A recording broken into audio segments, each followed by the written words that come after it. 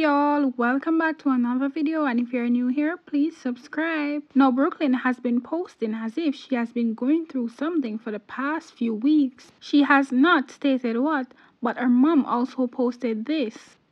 Swear it's hard to trust people anymore. Some of the people i thought were the realest the, the fakest ish it definitely it's different when you trust and love people, but it also makes you stronger. Keep pushing no matter what. People will continue to disappoint you, but you have to continue to be who you are.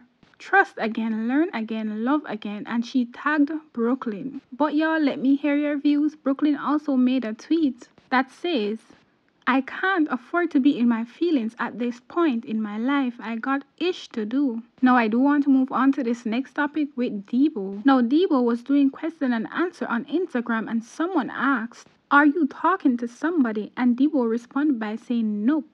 Now Debo is stating that he's still single. Now someone posted this about Brooklyn and Yanni going on the tour and Influencer City reposted it. And it says, Y'all ready for Influencer Tour?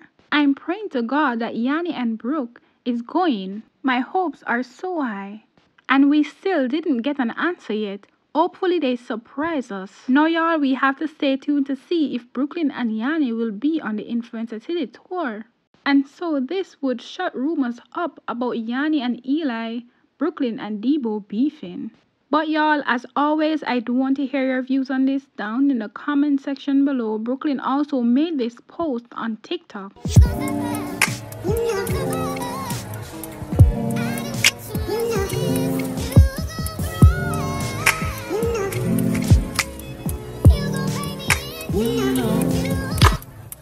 Now Debo and the crew is currently out on tour.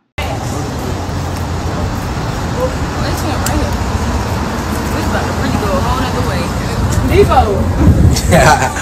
outside, bitch. Views on everything down in the comment section below. Please remember to leave a like, subscribe, and turn on your post notification bell so that whenever I upload, you are notified.